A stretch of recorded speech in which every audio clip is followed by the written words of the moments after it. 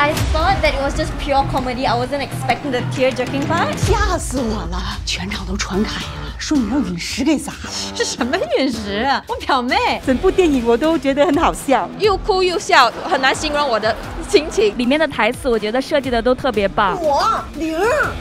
我还一呢。The character that I like is Leng Te. He just brings like a certain different kind of flavor into the movie. Although he's a side character, but you can see the development. My choice will be Li Huanying. She really portrayed the emotions very well. I like how there was actually a twist at the end of the story. 我应该会想要回到我妈妈的那一个年代，然后跟我妈说， 不要这样快嫁人。如果有办法穿越回去的话，其实好像我也会想跟我妈妈当朋友，想要去经历以前从别人口中听到，哎，妈妈小时候是这样的。The story is very uh, touching. 满分五分，我会把它就是打五分。Five popcorns for me, including five tissue papers. 你好，李焕英。四月一日，让你又哭又笑。